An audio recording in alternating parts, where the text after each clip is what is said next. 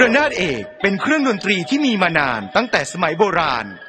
โดยมีหลักฐานจากการค้นพบระนาดหินที่จังหวัดนครศรีธรรมราชเมื่อประมาณ 3,000 ปีที่แล้ว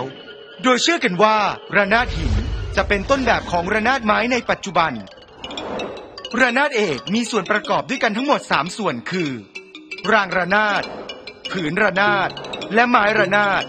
ซึ่งเป็นส่วนสำคัญของระนาดเอก ซึ่งเสียงของระนาดเอกถือได้ว่าเป็นเครื่องดนตรีที่เป็นผู้นำในวงดนตรีปีพาดเป็นเครื่องดนตรีที่คอยกำหนดท่วงทำนองในการเล่นเพลงต่างๆ ให้กับเครื่องดนตรีชนิดอื่น ๆ เพื่อให้การแสดงวงดนตรีปีพาดดำเนินไปในทิศทางเดียวกัน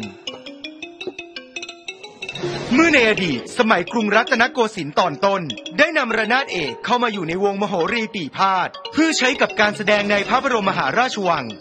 จนเมื่อนานเข้าก็ได้มีการนำออกมาใช้แสดงกับการแสดงพื้นบ้าน เช่น ลิเก หนังใหญ่เป็นต้น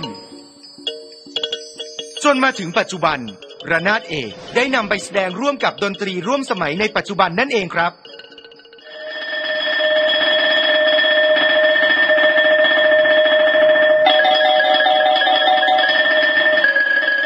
ครื่องดนตรีไทยอะหรือจะเป็นอะไรก็แล้วแต่เป็นวงดนตรีไทยอะส่วนใหญ่เขาจะเป็น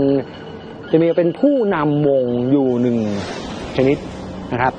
ถ้าเป็นวงปีพาดเนี่ยก็ต้องบอกว่าระนาดเนี่ยเป็นเป็นผู้นำวง มันเป็นกัปตันทีม จะขึ้นเพลงหรือจะลงจะต้องให้คนระนาดเนี่ยเป็นหลัก ทุกคนจะดูที่คนระนาดหรือจะจบเพลงจะลงยังไงระนาดเอกต้องเป็นตัวกำหนดให้ทั้งหมดก็เลยระนาดเป็นเป็นผู้นำวงครับดนตรีไทยทุกชนิดนะครับ มีเสน่ห์อยู่ในตัวตลอด จริงๆแล้วดนตรีไทยอะเป็นเป็นสิ่งที่ ภาคภูมิใจ ดนตรีไทยก็คือดนตรีของประเทศไทย และเราก็คือคนไทยเห็นไหมครับ เพราะฉะนั้นแล้วเนี่ยเราจงภูมิใจแล้วก็รักในสิ่งที่ความเป็นไทยและหวงแหนอยากให้ทุกคนได้ฟังฟังเพลงไทย ฟังระนาดหรือฟังซอด้วงซออู้ ที่เป็นดนตรีไทยทั้งหมดนะครับ ลองฟังดูว่าเสน่ห์ ของทำนองเพลงไทย และเครื่องดนตรีไทยที่มีหลากหลายหลายชิ้นเนี่ยมีความไพเราะงดงามอย่างไร ไม่จำเป็นต้องเล่นก็ไม่เป็นไรครับ